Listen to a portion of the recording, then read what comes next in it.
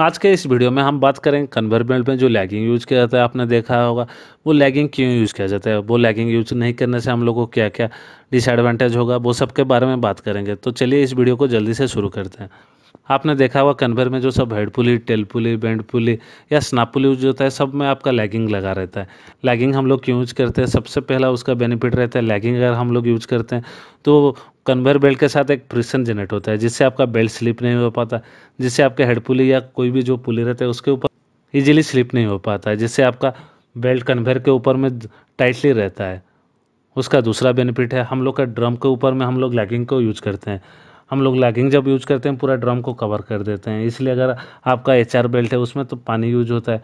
पानी अगर आपका ड्रम में जाएगा तो आपका ड्रम को करोजन कर सकता है या रोस्ट कर सकता है। वो सबको अवॉइड करने के लिए हम लोग लैगिंग भी यूज़ करते हैं।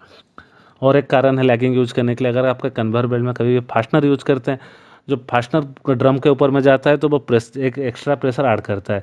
अगर आपका लैगिंग नहीं रहेगा तो कन्वर में जो सब पुल यूज़ रहते हैं, वो सब पुली के ड्रम को आपको डैमेज कर सकता है, वो फास्टनर तो उसको अवॉइड करने के लिए हम पुली के ऊपर में लैगिंग यूज़ करते हैं। तो मेन यही सब कारण हो गया। आपका कन्वर बेल्ट में जो पुली रहता है, उसमें लैगिंग यूज़ करने से आपका पुली का लाइफ इंक्रीज हो जाता है। मेंटेनेंस करने के लिए इजी रहता है। आपका सर्विस लाइफ बढ़ जाता है। तो मैंने इस वीडियो में आपके साथ डिस्कस लैगिंग के डिटेल के बारे में। अगर आपको ये वीडियो पसंद आए तो मेरे चैनल को लाइक या सब्सक्राइब करने के लिए मत भूलिए।